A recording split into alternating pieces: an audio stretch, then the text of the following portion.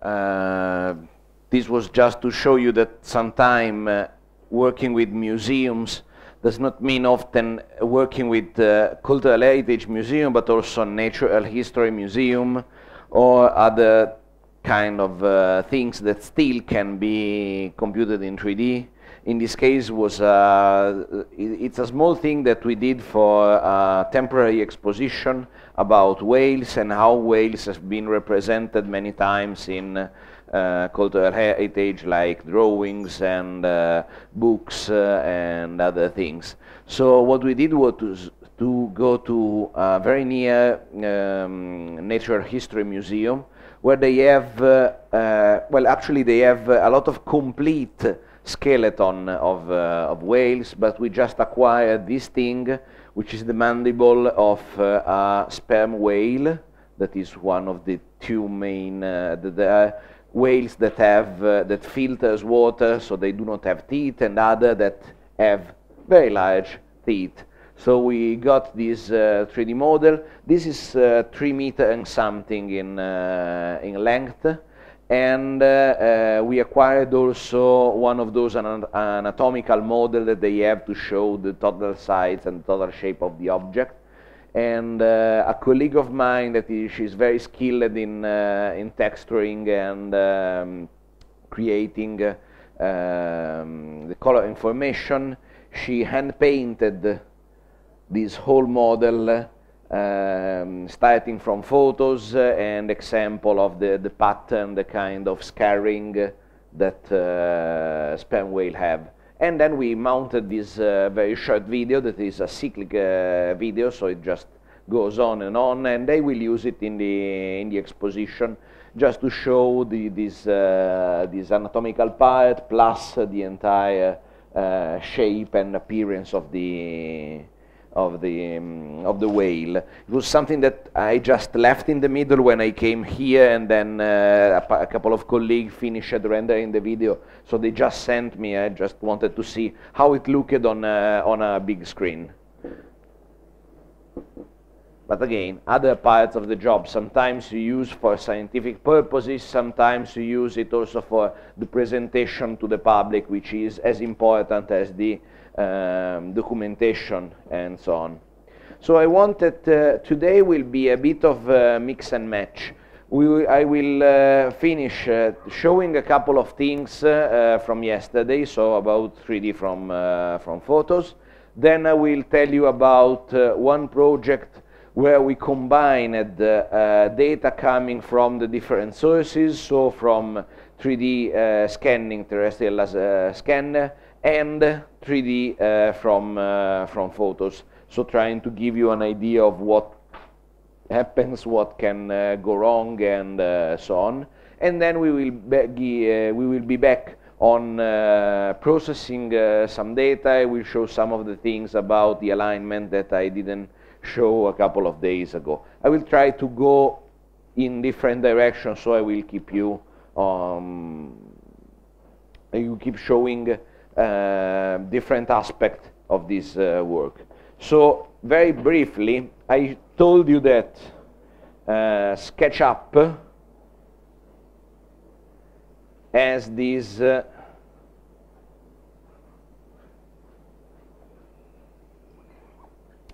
uh, this functionality about uh, that lets you model things using a single uh, photo.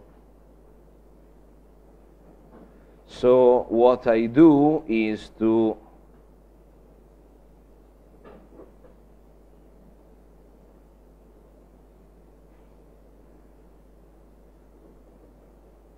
import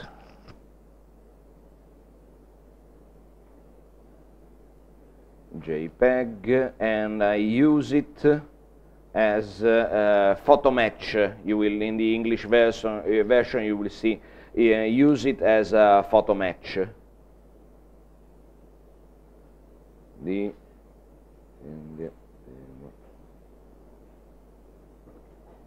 and I will import the photo that I showed you. Now, what happens? I have uh, a the photo match interface that is this thing here plus all these lines and reference marker. What I have to do, what the system asks you, is to place these lines on the photo, trying to be as uh, precise as possible and to follow uh, the, um, the vanishing lines. So the two horizontal vanishing line, you will have to match it by taking these points and going and attach this line to the vanishing line of the photo. So the idea is to, as uh, in all the situation where you have to do similar stuff, is uh, always try to put the lines, the point, uh, or everything else well distributed over the image.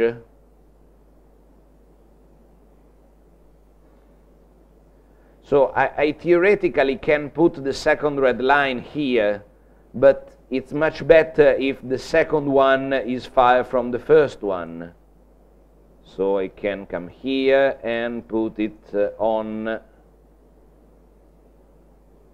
this other line.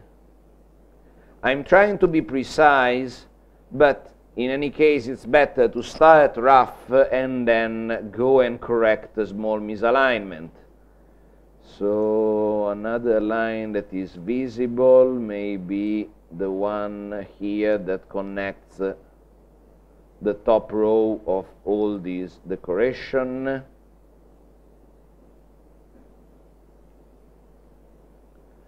And another one ideally should be here.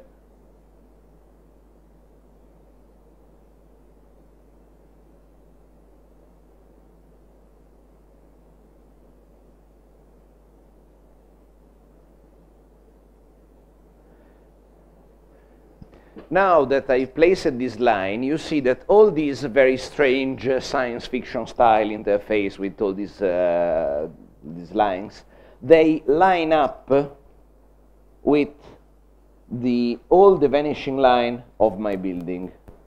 So I matched the more or less the focal length plus the point of view I still have to place something which is my origin. Once I place my origin, I can start drawing on the uh, following the things on the photo, but since uh, everything, uh, the, the, 3D space matches uh, what I see in the photo, it's like I'm tracing line inside a three-dimensional space. Uh, also in this case, I have the same all, uh, issue about the size of uh, the object. So at the moment, I am reconstructing something that is uh, a 3D representation of the object, but, but I know nothing about its scale. There's a way to scale it now, and there's a way to scale it afterward. So in order to scale it now, you may know about the height of one window, so you go and place your origin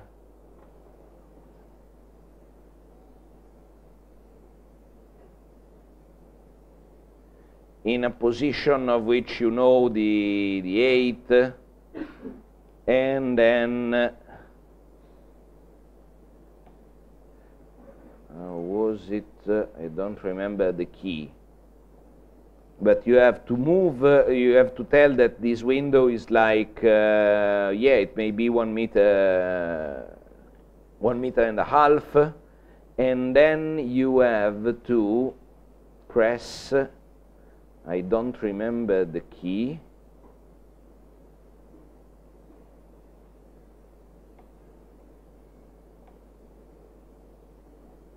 no,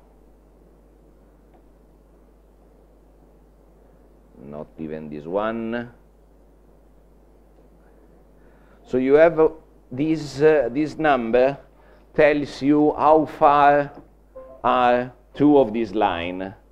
There's a key, I can't remember which one, sorry, I'm going to, uh, I'm, go I'm normally work using uh, MeshLab, uh, Blender, uh, SketchUp, uh, sometimes uh, Maya, and all these um, shortcuts, sometimes they just mix out.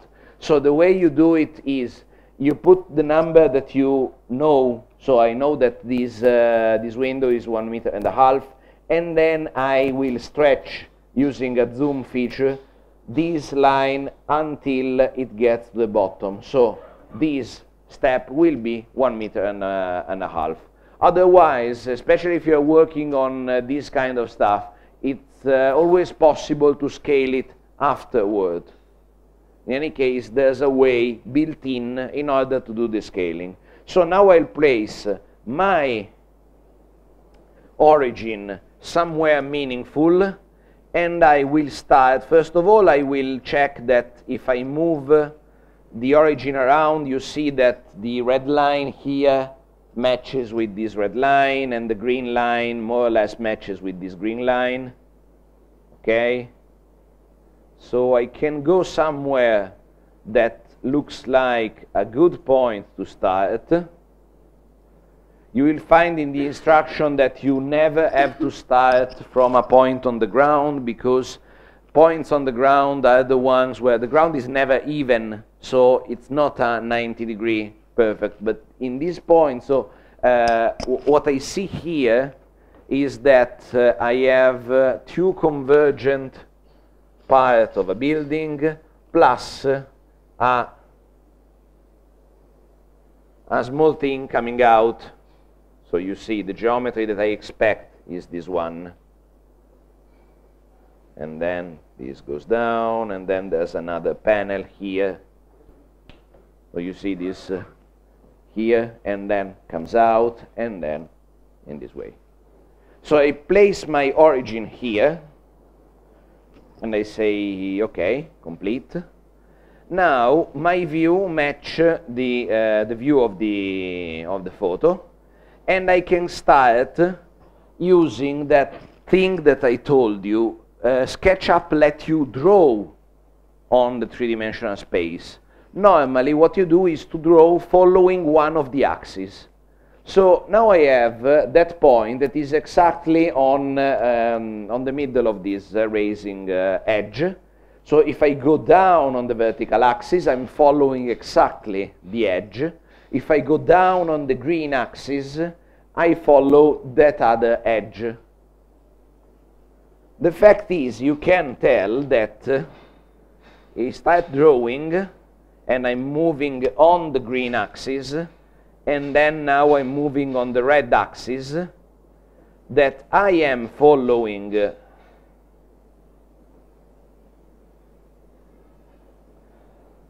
the shape of the object, but it is uh, quite manual, this process, and the kind of precision that I may expect is not so high, but still good enough for a lot of application. So you see that the software tried to help you. So I'm going down with this line. At, at one point, when I reach the same height that I reached it before, it automatically stop and tell you it may, it may be that you want to stop exactly where you stopped it before. So, sketching here, then I go in this place and I see, I, I stopped too early, but well, I see that here the, the windows is going in this way, like this.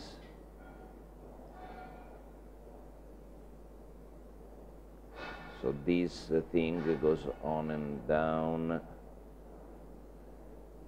but it's not on the same level so I did something wrong here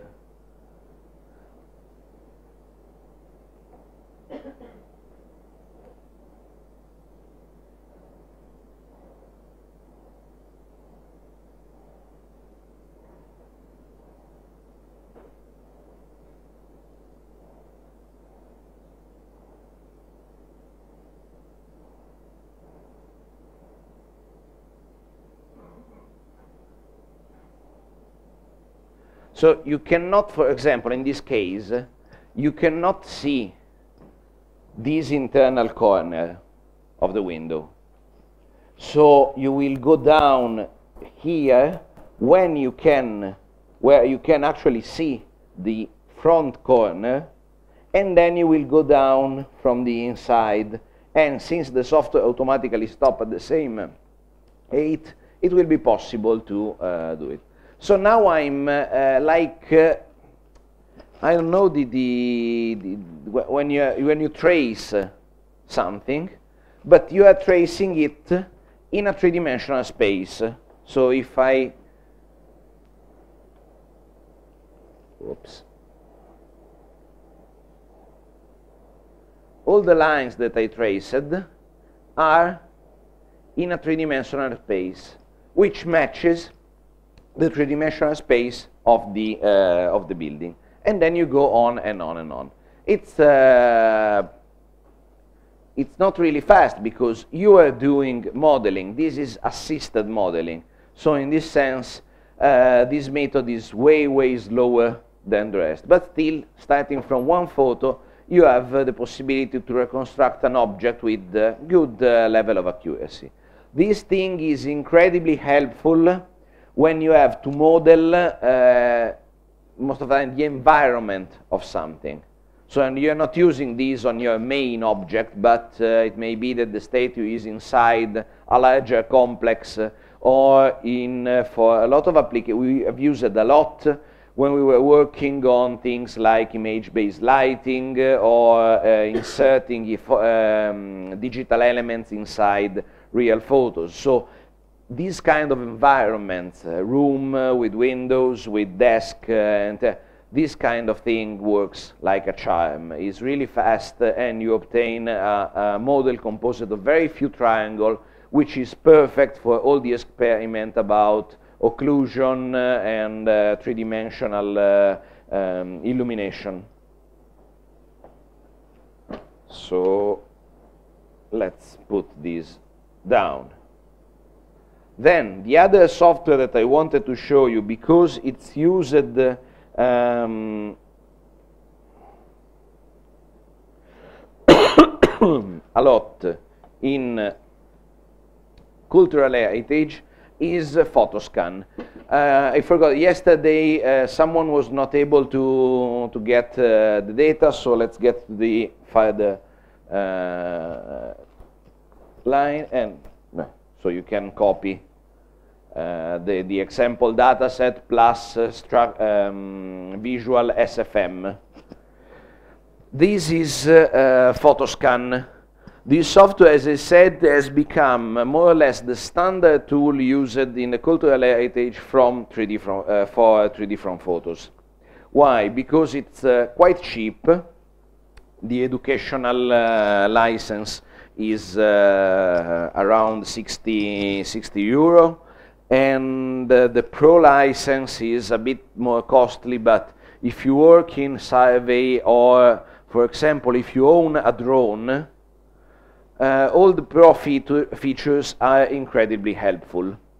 So the process of creating 3D model is more or less the same. You load some images you compute you align those images and then you get the, the sparse cloud plus the camera calibration, and then the dense cloud. This software may also compute um, the 3D model. So this is an example that I did yesterday before coming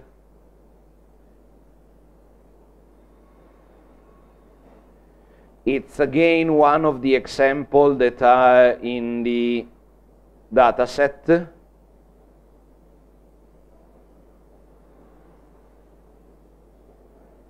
It's a statue without a head that is uh, in, uh, in a monastery in Spain. So this is part of a huge portal, all sculptured, so a lot of detail around and uh, we took the photos years ago with a very old uh, digital camera, so the quality of the photo itself uh, is not really high. And you see that again we moved at different height, at a different distance, trying to frame this part of the object. It's not a perfect coverage, we just wanted to see if the method was working.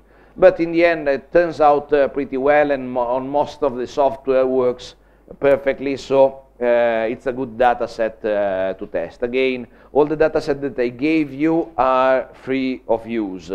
So don't worry about uh, property, about uh, privacy on uh, those data sets. All the models that I gave you are or object of uh, not that high value as a cultural heritage, except for my, my gargoyle that I love to have all those gargoyles in office. So those are really important objects, but not from a cultural heritage point of view.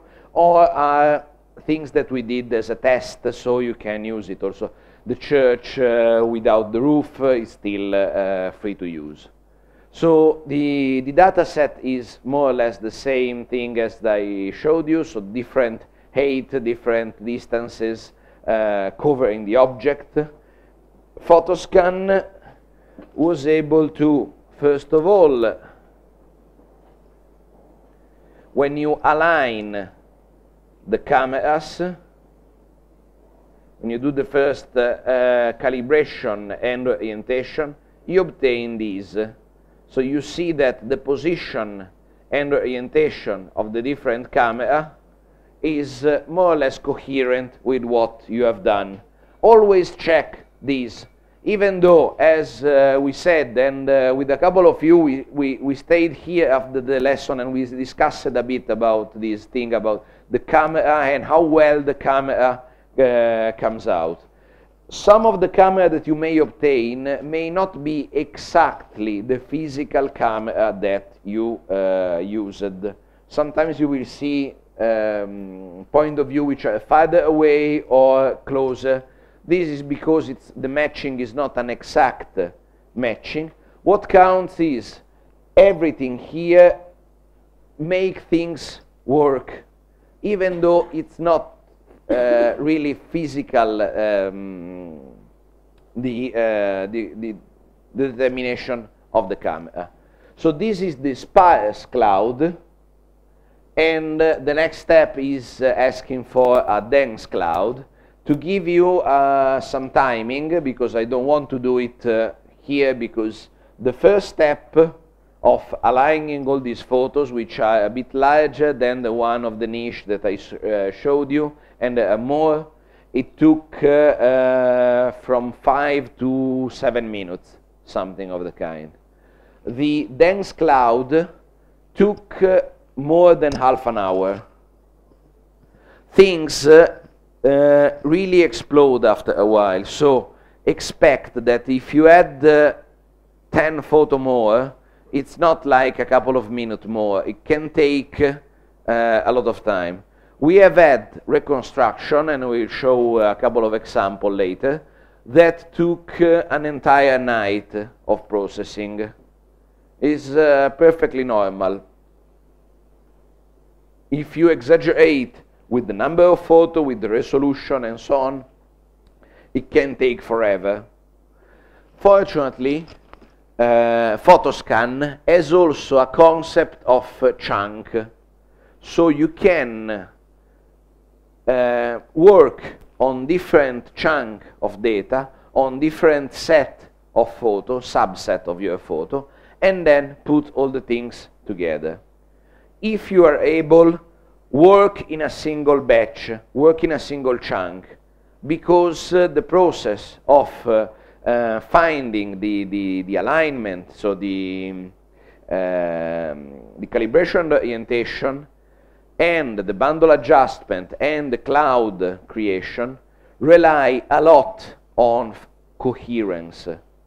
So even though it is possible to have the upper part of the statue in a set of photos and the lower part of the statue in a set of photos, and then put all the things together, you will get a better result if you have something that gives uh, coherence and uh, um, rigidity to the system.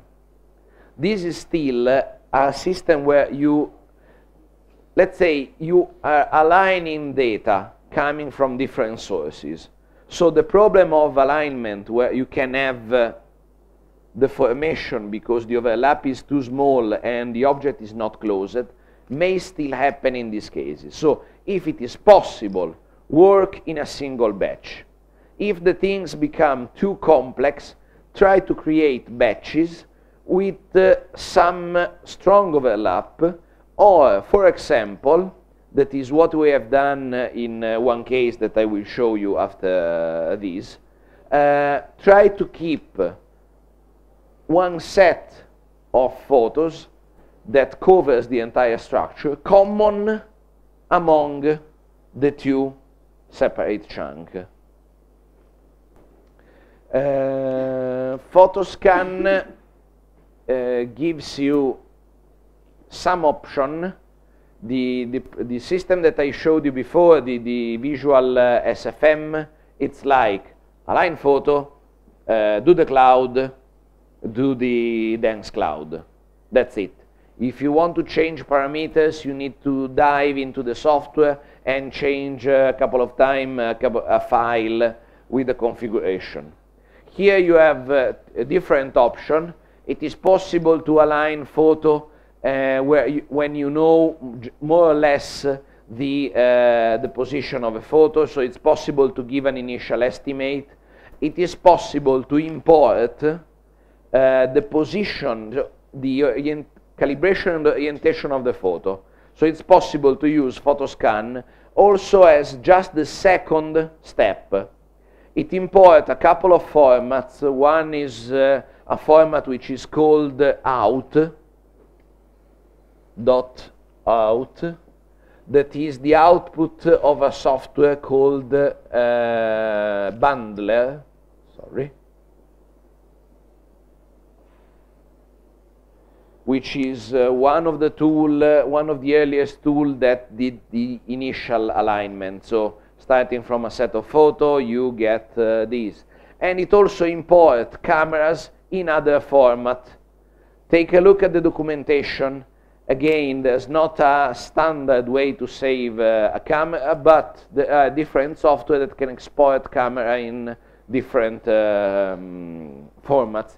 So you can bypass the initial if you have a way to precisely calibrate your photo or your photo are already uh, you know exactly the position because you created some kind of rig where all the, the, the cameras are in a specific position it is possible to use photoscan only to create a dense cloud and a 3D model. A lot of people are using rig rigs in the sense of uh, structures uh, with uh, a lot of camera. The position of the camera is always fixed and has been uh, pre-calibrated using some photogrammetric uh, approach, so manually picking points or going and using uh, markers. So you have a very good calibration and orientation. And they're using this rig to acquire, for example, humans doing a 3D scan of a human being, it's not easy because you need to move the scanner around and everyone moves. So even small movement, you that are breathing, because hopefully you're alive, uh, this simple change of geometry means that the things will never attach together well. So one way to acquire a human being is to have multiple scanners at the same time multiple scan is a mess because it requires a lot of, of money. But if you go and buy uh, this uh, very cheap uh, digital camera that now are more or less uh, uh, le less than a hundred uh, dollar, and you buy 20, and all around you, you place them in a fixed position, you have a stable rig for acquiring in a single shot because they are all controlled by computer, so they all shot at the same time you can create a realistic 3D model of human uh, beings or also other stuff. So if you are if your project needs to acquire a lot of uh, small objects, for example, instead of every time doing the shooting sequence and then import and then align, it may be the case that placing 10, for, 10 uh, cameras in a, in a good position and then you control them remotely and you obtain a, a viable uh, point cloud. So it is also possible to do so.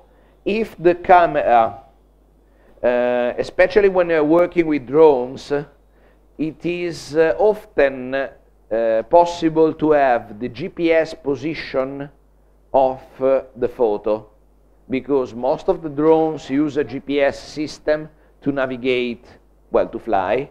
And when they shoot the photo, they mark inside the EXIF the position of the photo. So this software also use this data in order to have an initial uh, sketch.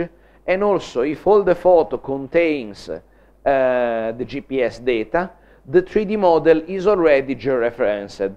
Remember that the GPS uh, data coming from uh, a drone is uh, reliable in the sense that you are not colliding with a building, but is uh, not as precise as a survey GPS, uh, the one that have the fixed antenna and then the mobile antenna.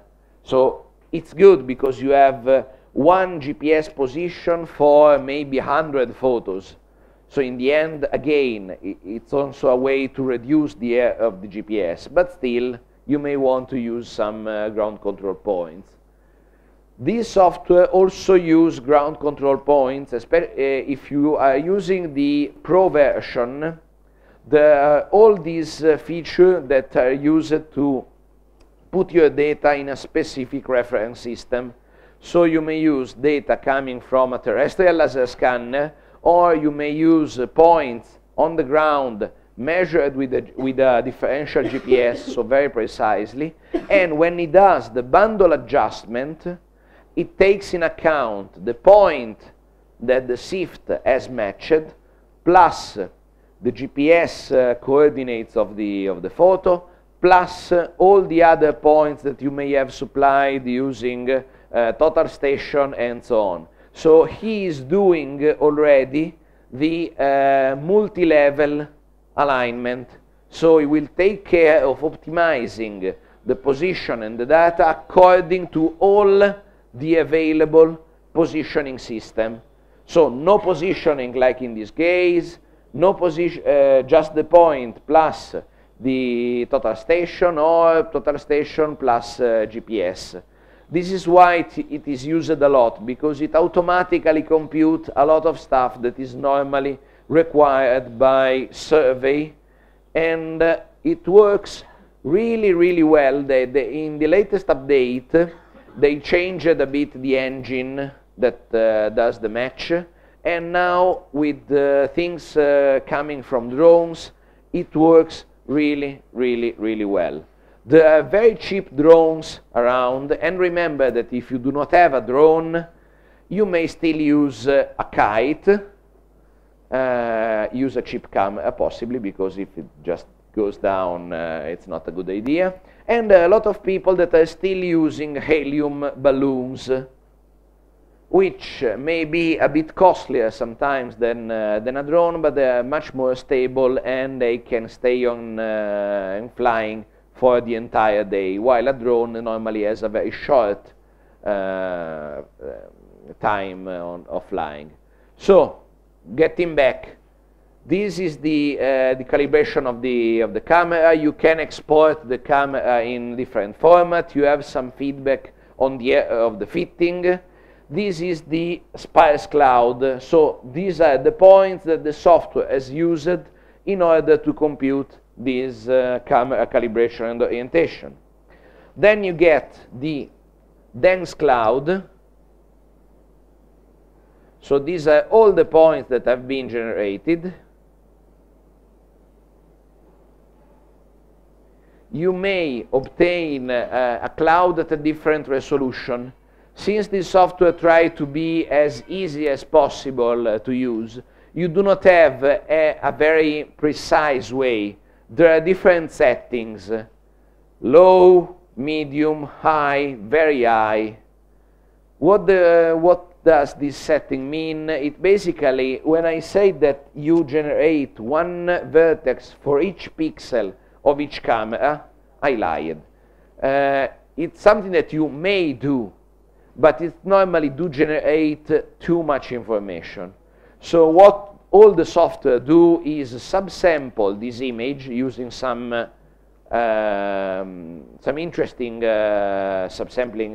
It's not a crude subsampling, and they compute only one pixel every every three, every four, every five. I don't know. So they have a, a, way to reduce the amount of data. Otherwise, if you just think about how many photos and how many pixels you have in these photos, it will be too many points. Uh, of course, the accuracy uh, is better when you use more points. So if you go in high or very high, you get a better um, a better cloud. Well, a better cloud. Remember that you still always have some error in the calibration and orientation. So even though the, the process succeeded and uh, uh, in this case the cloud is pretty good, this does not um, imply that you can use uh, all the points because uh, there may still be some misal small misalignment. So what happens normally is that you start from medium or high and take a look at the data. If the point cloud is really, really good, you may think about getting the next uh, result. So I try to increase uh, these parameters and have a larger point cloud. And take also a look at on how many points you have already generated. Remember that in the end you will need to create a 3D model, you will need to use this data. So points is not money that the more you have, the happier you are. Points, after a while, becomes a burden because you have too many and your hard drive can hold it anymore and your video card doesn't um, is, isn't able to, um, to work on it anymore. So always look at the data, save, export this point cloud, take a look at the point cloud. This software is uh, work with the generate point cloud with color and normal so I can see it here inside or I can also just export these points and uh, um, cloud and I'm uh, using the data um, from the dense cloud. I can also export the, export the sparse cloud if I want to. I save the point color and the point normal using binary encoding. So now it's exporting. If I go here, I have this, uh, this file, this cloud.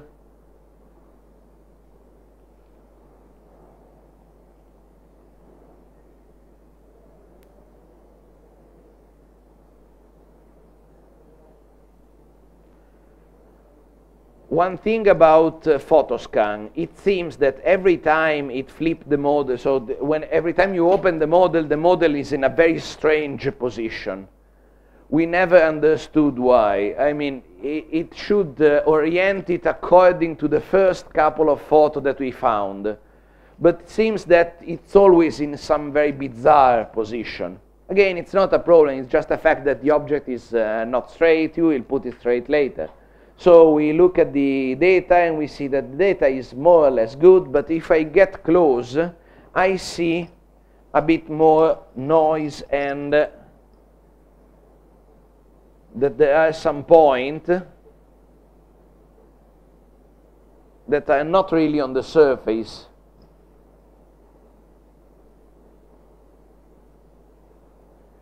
And if I render color none,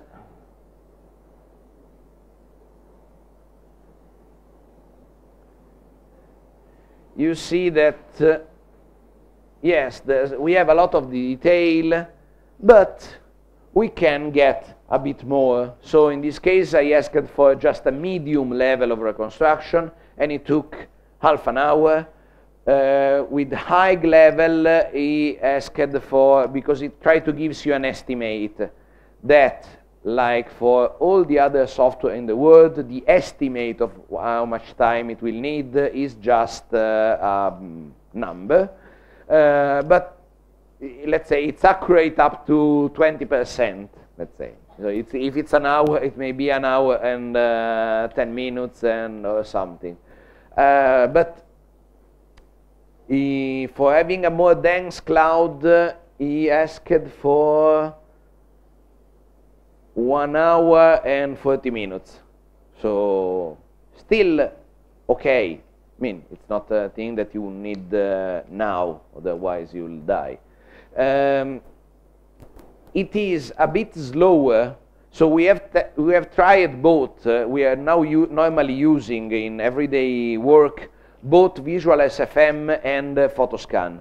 Visual FM, SFM seems to be a bit faster, well, faster in the initial the um, creation of the calibration of the of the photo.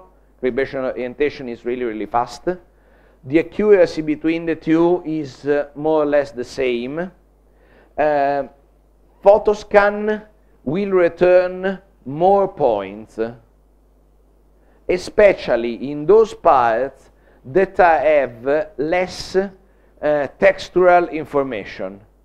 Told you yes, yesterday that, if you try to acquire this wall, you will have some scattered points in the places where there is detail and nothing here. This is always true. However, there are areas of a building that may be more or less correct, so that you can find detail, but the detail is very few. Visual SFM sometimes leave those areas empty. Photoscan is able to compute more points even in the, those areas. Photoscan tends to generate po floating points, while Visual SFM produce less uh, ghost floating points. It's just a matter of filtering. So it seems like Visual SFM, well, PMVS uh, from Furukawa, uh, try to filter more the data. So you get less data sometime, but the data is a bit more clean. Which one you use, it's on you. Uh, this is the dense cloud. I can already inside Photoscan create my 3D model and then create a texture for my 3D model. Because you see that if I just look at the geometry, the geometry is okay, but it's, uh, yeah, okay. Uh, while if I look also at the color,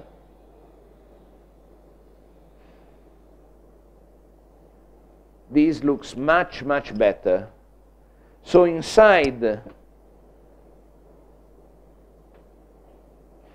Photoscan, it is also possible to create model. Again, you have to ask uh, at a specific resolution. So in this case, I, I, was still a bit conservative in order to have uh, a result uh, quicker, plus the text. the 3D model is not really, I don't like it. Uh, the 3D model generates, sometimes it lack a bit uh, the detail of the point cloud. So it seems that it's always using some uh, parameters that is very conservative. So in a lot of situations, we just export the dense cloud and we do the merging inside MeshLab. But if you are on the field and you need the, the, the model that creates, and especially the texture it creates, is really, really nice. Remember that you may, uh, one thing that you sometimes do is um, you create, uh, uh, you, you do align all the photo. Then you may remove some of the photo and create the dense cloud. While, why? Because you added to the set a series of photo taking the object from very far away in order to have a better coverage, a more coherent and um, and coverage. Uh, this thing is good for the initial ca uh, calibration orientation, but since the photo are taken from far away, the detail is not that much, so you may want to remove those and obtain a point cloud only using uh, the closer photo, the higher quality photo. Then for the texturing, you may want to do the same. In this case, if I ask him to create the texture, he will try to use all these photos, which are a lot of photos. So even if the process is good and the alignment is good and everything is, uh, went well, uh, you still have a texture that is, uh, uh, that is fragmented in a lot of small images. And I told you to try keeping the same illumination all over, but there may be photos that are better and photos that are not so good as illumination. So you may want to reduce again, so you cull out some of the photo that you don't like, and then you generate the text using only the highest quality photos or you may do the opposite. You may use uh, to texture the object only the photo that frame the entire object instead of the detail. So you will have a more coherent color all over. Because this is a problem that we will encounter when, uh, when I will uh, speak about uh, photos and texturing and photographic mapping. No matter how you are, how precise you are, and how fixed you put the parameters of the camera, when you take multiple photos of the same object, even just the fact that you move it from one position to the other, the color of the object inside the photo will change slightly. And when you do a composition of the texture, you will be able to see this change. Again, the Pro version also save orthophoto plane, so especially if you're working on the ground, you can save a, a single rectified image covering an area or uh, it may export directly in formats that are usable by GIS software or other survey software. So it's a, it's a really useful uh, tool.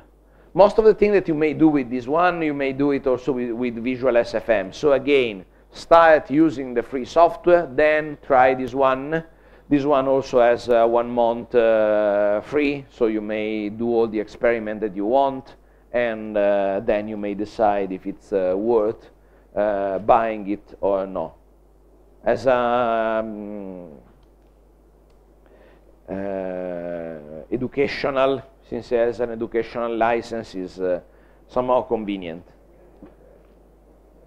Now I will tell you a bit about one project. So I will start doing that thing about um,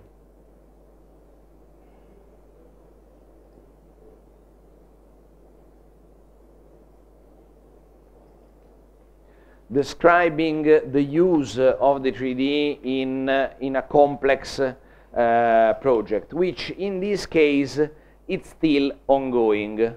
This is a collaboration between our lab and uh, a university in Sweden that uh, are documenting and working on a specific insula of Pompeii. Insula is just a city block, so an area with a lot of building and houses comprised between four, um, four streets. This, uh, this thing is a very complex geometry because uh, Roman cities were very packed, so everything was happening in very small places. So even though the second floor completely disappeared because of the, of the volcano, Pompeii is a Roman city in the south of Italy that was completely destroyed by uh, an eruption of a volcano. The interesting thing is that the volcano destroyed the city and uh, buried alive a lot of people. Well, not alive, they, they, they, they died and then they, was, they were buried inside their, their houses. Uh, so it destroyed completely the top part of the building, which mostly was in wood. Uh, but the, the ashes and uh, the lava simply covered the city, so most of the city is still intact. So you can visit, you can go around these streets and see a city that is 2,000 years old, that has been preserved uh, in a very astonishing way by the ashes and uh, by the, the, the, remains of the um, eruption. So most of the internal wall and uh, some of the ceiling, not all, but uh, very few ceilings, are still intact. And uh, so you have a complete plan of the different houses. In this case, uh, for example, this was one very large house. This was another house. This here with the small entrance and then uh, this block here, this is, was uh, closed before, was another house. Here you have a, another large one cover in this area here. This uh, is uh, a bakery and everything else here, these small uh, things uh, here, this was a very small house and all of these were commercial buildings um, the, the Swedish university has an ongoing project of documenting and studying this specific insula. We were involved years ago because we know a guy that works in, uh, in this university and said, oh, we should go with our terrestrial laser scan and try documenting with a detailed 3D model this main house and possibly some part of these other houses. So we, gave, uh, we went there for uh, a couple of days and we were able to give this house completely and also completely this other house, plus a lot of scan from the road. Uh, so we decided next year, let's go and finish up the entire insula acquisition of this kind of stuff is really, really complex. Told you that a terrestrial laser scan has a very wide uh, depth of view, so it can acquire things in, in an entire square, so 70 meter of range, uh, our own, but the, the most modern one have also a longer range. The problem here is uh, you are a lot, you have a lot of room that are 2 meters by 2 meters. So the range of the scanner means nothing. You will need to take a lot of scan and move constantly from one room to the other, taking care also of having a good overlap between each room and the next one because it is uh, uh, in theory it is possible to use markers to align all this stuff. But in practice, you will need hundreds, uh, many hundreds uh, of market scattered all around. So you will spend a couple of days just to placing marker uh, all over the place, which is uh, really inconvenient. For this reason, all of the scan are complete scan, so 360 degrees, so panoramic scan, complete panoramic scan and we carefully planned the position of the various can. We had some idea looking at the map and then going in the place we were able to adjust the plan. So bear in mind that if you are going to work in a complex environment, it's really, really nice to have in advance some information like this one, just to to see how many points, more or less, you will need to, uh, uh, to scan from. And when you get to the place, you will need to consider the, uh, the shape of the room, the size of the door, and the presence of occlusion. So if I want to scan this uh, room, I will start looking at uh, hidden areas, at uh, apertures, and at all the things that are inside. So, for example, I may think that I, if I place the, the scanner in the middle of the room, I'm more or less okay. This is true and not true. With the scanner in the middle of the room, I will get 70% uh, of, the, of the surface. However, there are a lot of areas that are completely hidden because if you look at the ceiling here, you will see that there are these two beams plus these other two transversal uh, beams. So this part, if the scanner is there, this part here is completely invisible. So I will need to scan uh, the thing from one point in the middle because it's always good to have one acquisition point that is able to see everything more or less at the same distance because it will give out a point cloud that is uniform in coverage and then I will probably need a scan position here because in this way I will be able to see everything that is outside the, the, the door. So if I need to connect this data set to an external data set, I will have this as a bridge. And if I'm here, I can see the inner side of this, um, this beam plus the other area here.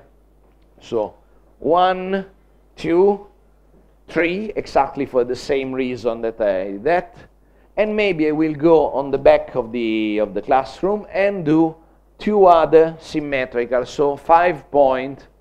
The problem is I will never be able to capture what's in between each row of the, of the desk. If I need to, because I'm only interested in this room, there's no other way than taking a scan here and then in the middle of the next row, and then in the middle of the other row. If it's possible to remove the chair, I may want to go here and scan in this way and then alternating. So all this consideration comes because you know how much you can get for a single position and you know which kind of uh, coverage you need. If you are just a structural uh, engineer and you want to evaluate the stability of this uh, thing, you may even just that four corner are okay because with each one you can see a part also of the mid um, mid uh, middle section of the room and you are done. So in this case the problem was most finding each each of these points is a single scan position. We managed to use 300 uh, something, 318 if I'm not mistaken, but I, uh, the, the, so we tried to cover and we succeeded in covering all the rooms and uh, all the rooms save for one dam. I still hate the thing because uh, the archaeologists were working so every time we moved to a new section, they removed all the equipment and they moved it in another place. Uh, one room was a storage room, so it was filled to the brim by meters, by uh, equipment, so we could not vacate it. So we have the entire insula save for this room here. And I still hate that I, we don't have that, uh, that room, but well, it's... Uh, we also covered the entire insula from the road. You see, staying, even if, uh, if I put a scanner here, the range of the scanner is able to reach uh, this point. But in this case, it will give a very dense coverage here and a very sparse coverage here. So again, even if it was not strictly necessary, we moved in a very regular way, trying to cover again everything with the same resolution.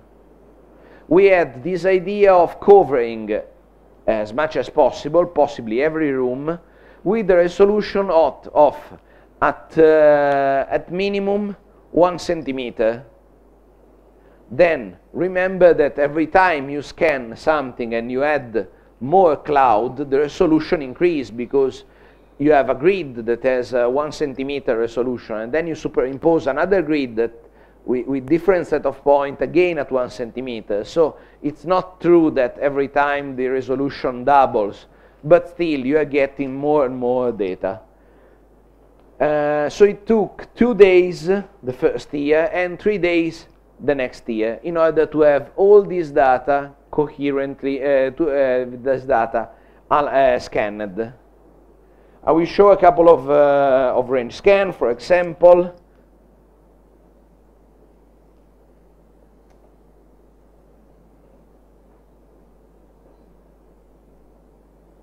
So if I load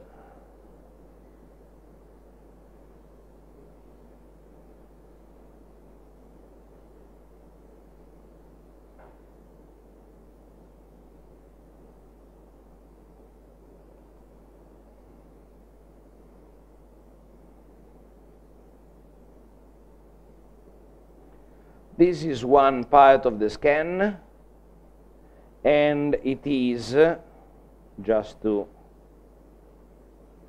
this part here. So this is the entrance of a house, and this is the road. So what I see here is the sum of different scan aligned. So this scan was taken uh, from the road.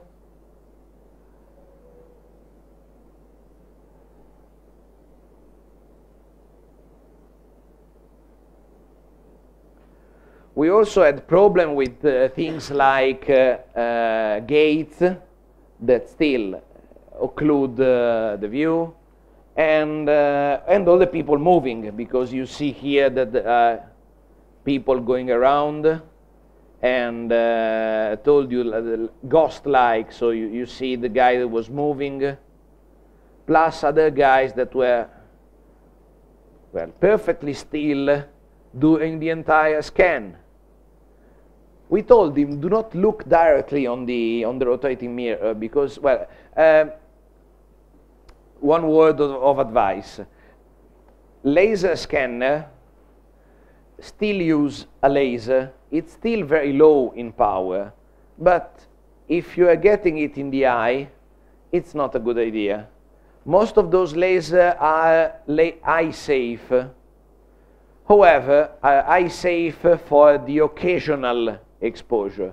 If you are working with scanner, try to not continuously look at the laser because it's not really nice. Some equipment has a class 1 laser, so do not look at the laser while it's scanning. Terrestrial laser scanner, especially if you are very near to the scanner, the amount of energy is a lot, and since it's in an, an invisible frequency, uh, it can damage your, uh, your eyes. So in most cases, a terrestrial laser scanner comes with glasses, very fancy glasses with uh, strange colored lenses. It's better to avoid looking at the rotating mirror. For the occasional people passing by, just tell them, don't look at the mirror, it's okay. If they just uh, give it a glance, it's not a problem. You're not blinding anyone just be careful because if you are working with this stuff, it's not an occasional exposure. You continuously get this laser in, uh, in the eye. So we told him not look at the, but he stayed like a statue. And all these things, uh, you have to remove it manually because there's no way an algorithm can distinguish that this is a human being standing like this and not a statue, for example. It's exactly the same stuff. When we did the cathedral in Pisa, I spent one week in removing people and pigeons. Pigeons are evil and are everywhere. And when you merge it, you will find some, uh, some strange shape, and then you go back and, uh, and remove the thing. So alignment, in this case, we used the same uh, stuff of alignment that I showed you the, the other day, and we worked in chunks. So we aligned different areas of the, um, of the insula. Told you that the more points you put inside, the more scan, the thing gets slower and slower and slower. For this reason, this, uh, um, this subdivision is uh, the subdivision that we used for the alignment. So we align this house, which is called House of Cecilio Giocondo, because uh, uh, for some of the houses, archaeologists know exactly everyone that lived here, the name of the person, which was their trade, because they found a lot of documents. Especially in this case, this, uh, this guy, Cecilio Iucundus, Cecilio Giocondo, is a very famous guy because it was uh, a, um, uh, an accountant for, it's not the correct term, for the merchant guild. So it was taking, uh, it was um, in his house, was full of commercial document of uh, import and export and on the commerce of the entire city.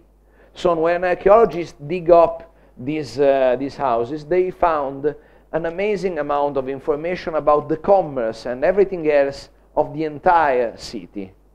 So we know exactly the guy that lived here, but we don't know about these other houses here. So some of the name has been uh, named uh, for an object that has been found, a, a, specific object that has been found. So this is the, the house of the bronze uh, bull, because there was this uh, small statue of a bull, and uh, this other I don't remember of the epigrammi because there are some writings on the wall.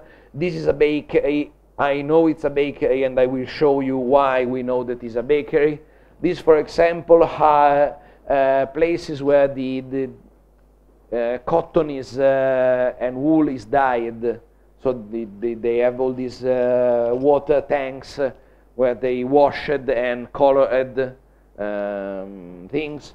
And most of these stuff here are just uh, taverna, so bar and places where you can get food on the fly sometimes, just go there. so we aligned this chunk, this other chunk, this one, this one, plus one, two, three, and four section.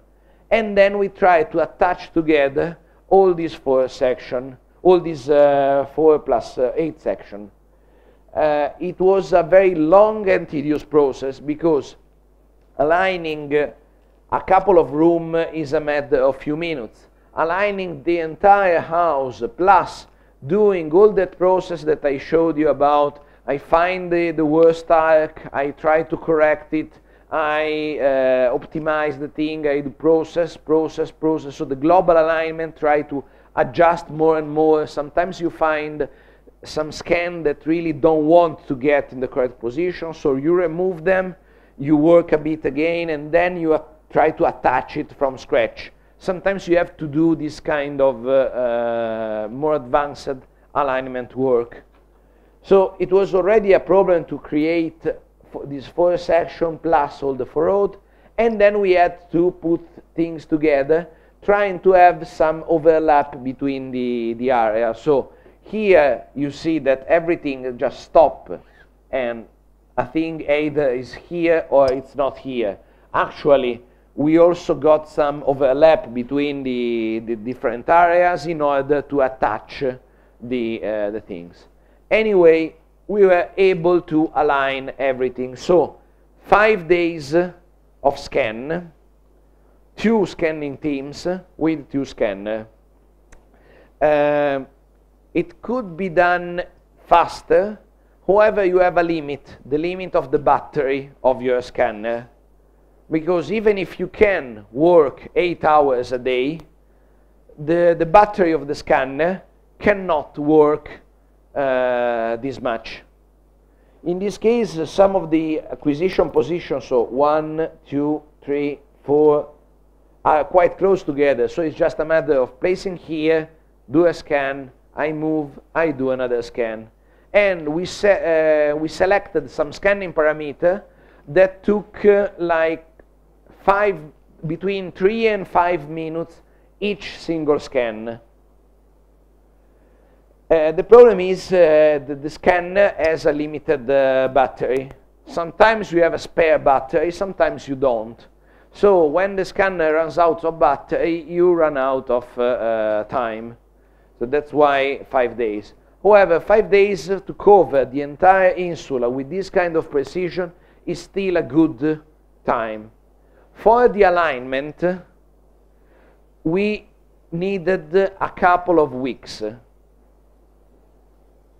not of continuative work, because in the first uh, 10 minutes of alignment, it's really point, click, click, click, point, click, click, click, click, ta, ta, ta, ta, ta, and things start going.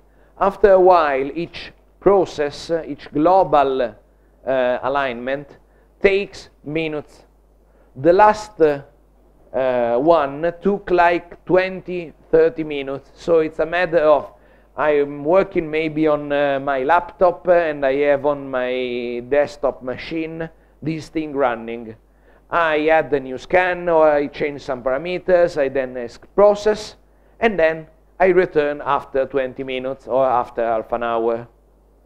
Things just get slowly. But in the end, if we have to, uh, to establish how much time it took, also because it was the first time we had uh, such a large and dense data set. Not such a large because we had uh, larger, that, larger in the sense of uh, larger area, but the density of the data set was very high. So it was a lot of... Uh, the thing is, since you have a lot of overlap, the alignment comes out really, really nice.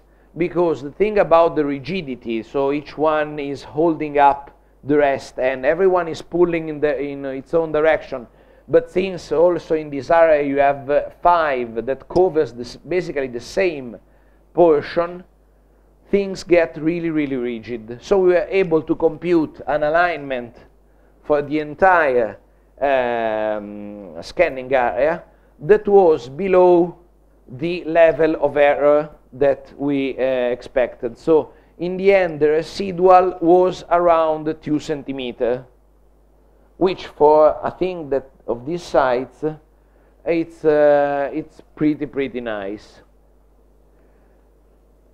By doing so, we, have, or, uh, we also have individual areas, so we can work on uh, individual areas. But we wanted to have a single model of the entire insula. So what we did was then to get all the points, flatten everything inside a single point cloud, uh, possibly we tried to clean as much as possible all the things that could interfere in the, in the merging. So a lot of the people, we cleaned them out. A lot of the ghosts, we cleaned them out. A lot of the gate were removed. A lot, but not all. Because, why? Because sometimes problems just disappear if you don't look at them. Uh, the merging of all this data was carried out in order to have one point every, so we try to, to reconstruct the, the data at a resolution of uh, uh, 3 centimeter in the first try. At 3 centimeter resolution, everything that is much smaller than 3 centimeter disappear. So most of the floating point, most of the gates, most of the things just were removed by the merging. And what remained were floating stuff that can be removed automatically. Then we moved on a data set of 2 millimeters and we try to do again the merging, and we obtain uh, 2 centimeters, sorry, and we obtain again the merging. One important stuff, if you look at one single range map, like the one that I opened, it's really, really, really detailed. You see that it took ages just to load that small area. If you keep the data at the maximum resolution, it will never be possible to work on this data set. So we worked on subsampled geometry and then we moved on higher resolution geometry. So you acquire data at the maximum possible resolution, which in some cases is much higher than one centimeter. So from this raw data, what we did was I have all the range scan as uh, the raw data, we generated a data set that was uh, subsampled, throwing away all points that were closer than one centimeter. So we had a data set that was a one centimeter data set. From this one, again, we reduced the point, throwing away everything that was closer than two centimeter. And then, again, three centimeter. So we have three copies of the same data One as, a as the native resolution, one centimeter, two centimeter, and three centimeter. We start the alignment here at three centimeter because in this way you are much faster in doing this chunk alignment. When you have aligned this data set, remember that the alignment is just a position in space, a position and orientation. So it's just, uh, the alignment just tells you this range scan should be here. But this range scan mean this or this or this. So what we did was, I start from here, I obtain an alignment, and then I apply it to this data set. And since now I do not have again to go and pick all the points because I already have a very good start position, I use this data set to improve the alignment. So we loaded the alignment using, instead of these, these 2 centimeter, we processed again and the error just went a bit down. Then we took this thing and we placed it here and we did the same. At this point, we stopped because we were not able, because there was too much data, to do the same also for the raw data set. And since our target was one centimeter, we had uh, we worked in uh, in this thing. Yes.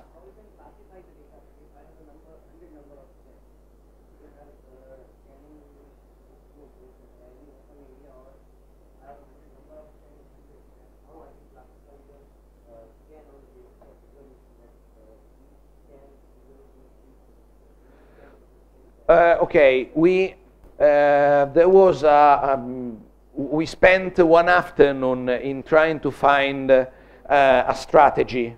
So the normal work, so you have a state you are building, you do uh, 12 scan, you align them, and you obtain the model.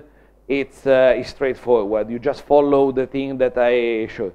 When you have this this situation, you just uh, have to plan a bit ahead of your work. So uh, when we do this, when we did the scan, we did uh, with some order, but not that uh, it was not possible to follow a very regular thing because the two scanners should be uh, in two different houses in order to avoid the laser to interfere one to the other. So the number that you will, uh, you can't see it here, but oh, these numbers are in sequence, but they follow strange pathways.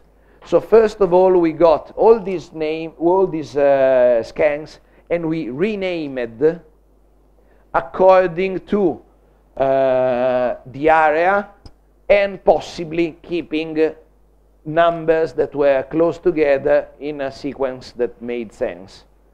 After this, we, um, we did an initial cleaning of the data, so on the top, uh, on the row level, we throw it away things that we just really didn't need.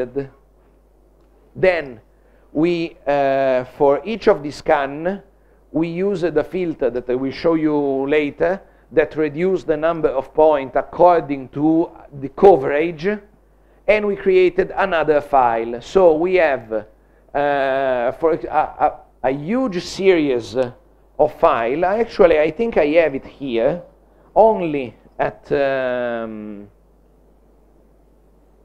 I only here have the 3 centimeter data set. Bib, you, you see that the uh, various uh, file. So this is the, from the area of uh, Cecilio Giocondo, scan 067 underscore 3 centimeter. And we had different folder containing this various version of the data. Yes, it took out a lot of disk space, but it was the easiest thing. So to generate this, it can take uh, uh, not that much, let's say one hour, but it's, you do it once, and then everyone is working on the same data set. So uh, we organized the data, and it was a very efficient things to do because then we, we could get data from all the, all the different data set and everything is in the same reference space because you can use the alignment to load the data from one centimeter to three centimeter, everything in the same, uh, in the same space. So for each, uh, we, we rename it and we um, uh, subsample the different level and inside each one we have each of these folder we have the partial alignment of the chunk. So this file this MeshLab project will probably load up all the um, all the scans of the epigrammi house.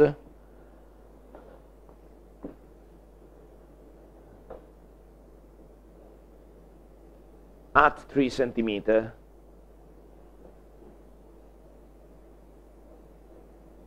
which are a lot of scans. probably this was one thing not, not to do.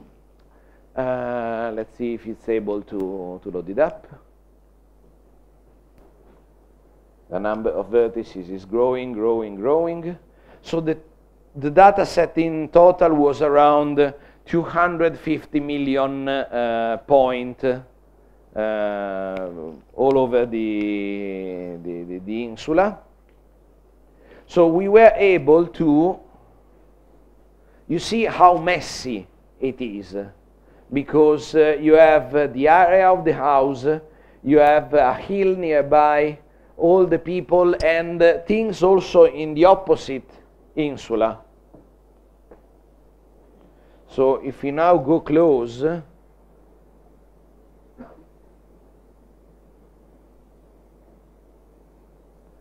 You see also that some scan comes from the um, from a scanner that also capture color, like in this case.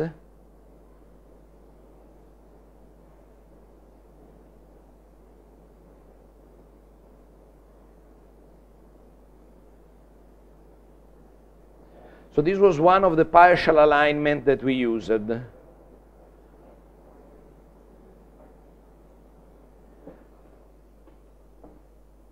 It's a manual thing. And every time you use the resources that you have uh, in order, because there is no software that is, uh, for how much it is configurable or flexible, there is always some work that you have to do manually by moving stuff around and organizing the work at a higher level. That's, uh, that's it. So we then um, we are still, uh, we haven't yet used the, the one centimeter data set for the global model. So the global model that I show you comes from the two centimeter data set because this is still too large for uh, have a very good merging. So most of the thing that you will see comes from here. And so what we got, so you see that I have a model called the 3 centimeter that comes from the data set at 3 centimeters and the model at 2 centimeter that comes from uh, the 2 centimeter data set. I will show it, it now using uh, MeshLab.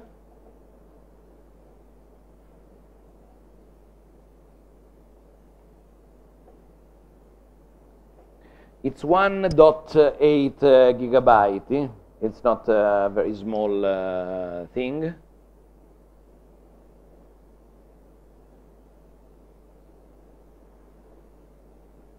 And I will render it in points because in faces it takes uh, forever, but I want to show something now and then I will move to another system to show better the, the result. Um, people from the university uh, also use the total station to get uh, reference point. Not many, unfortunately, and they were not very well documented, so we are still waiting to have good points for the georeferencing. However, we already did uh, using that uh, the points that they gave us, and uh, so we can have uh, our 3D model in the correct position in space, which for some um, situation it is good. the data set is really complete.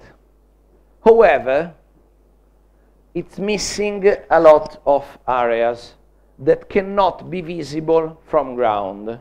So all the rooms have been covered, say for the storage room. All the wall have been covered, all the floors have been covered. We are missing the top of the walls and the roofs. Why? Because there's no way to get higher than uh, that position. So we were unable to scan those, uh, those parts.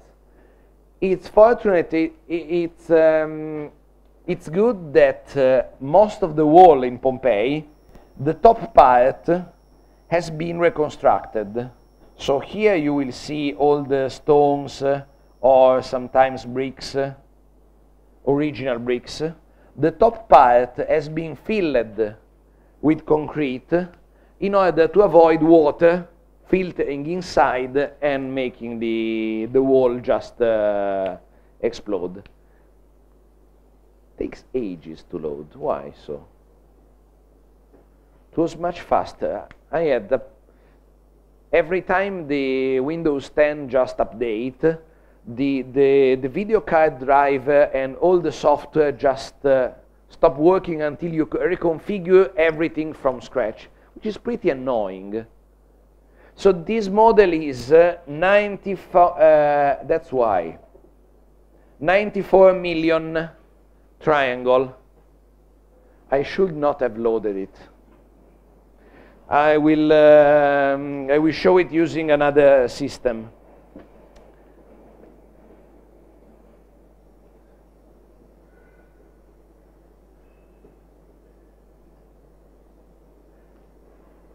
No, come on, it's 8 gigabyte. I have 16. It should be able to.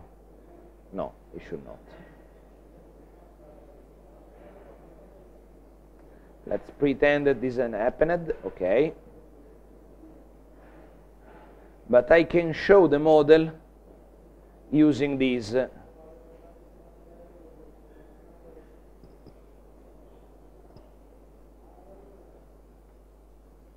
So this is part of the project. So uh, most of the thing about the project is about documentation and study of this, um, of this insula.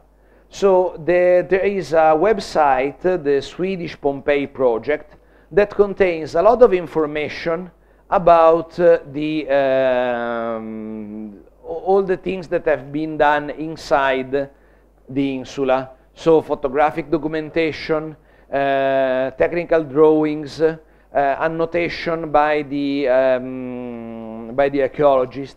So one idea was to create uh, a system that was able to display the 3D model online and connect this, this three-dimensional system to the uh, other website that was existing.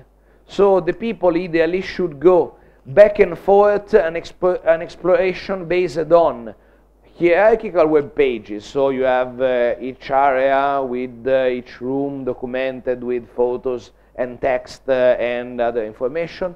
Or you can explore um, virtually this area using some, uh, some interface and in at any moment jump between the text information, the, uh, the, the the website which is already online and this. This is still an ongoing work, so this is um, an initial interface, and I'm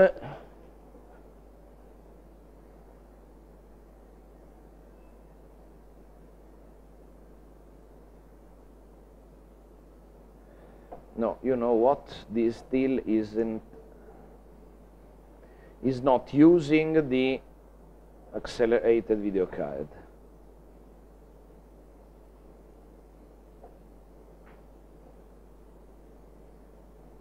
Yes. So how you make explorable a model uh, like this? Because if you have, like in MeshLab, uh, that idea of a spherical trackball, it's good for an object. But here you have to provide something else. exploring a complex environment is a mess. It's always a mess, it will always be a mess, because there's no easy way to navigate an environment. So we implemented these things that looks like a, um, a scale model. So you basically, this is your, the center of your attention. You are walking around the model and rotating, always pivoting on this stuff. This red thing here is the north. So this is a compass. You have the minimap, and if you click on uh, any point in the minimap, you will be teleported in that position. So if I click uh, here, the center of my, of my screen will be in that position.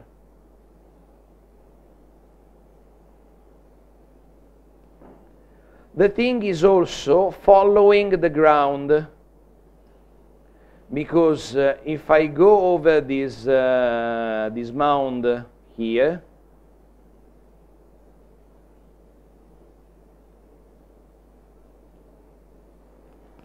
This is done by encoding the height of the ground inside uh, uh, another data structure because this is only rendering.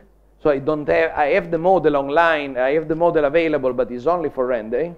So I have uh, other layer of data beside this uh, minimap. The minimap you see, the graphical minimap, which is basically a screenshot from above, so you see the wall, you see the room. Plus I have another map that tells me the height of the ground, so I can just uh, follow the contour of the ground. This is on a hill, so it's not a flat area. So there's uh, like one meter and a half between the lowest part here and the top part here. And this is the GIS uh, uh, reference system, so the local position. So the I'm 36 meter above the, um, the sea level and east and north with respect to a point that is more or less here. So I have a reference point in this area and gives me the current position. This, uh, this other thing only work in this part, which I have encoded because the, it's still, uh, told you, it's still a prototype. So if I go in this part, I know each room. So when I'm in a, in a specific position, here it will tell me that which area, so the insula, and uh, which uh, so which area in the sense that uh, this house and the room inside this house. So if I go down,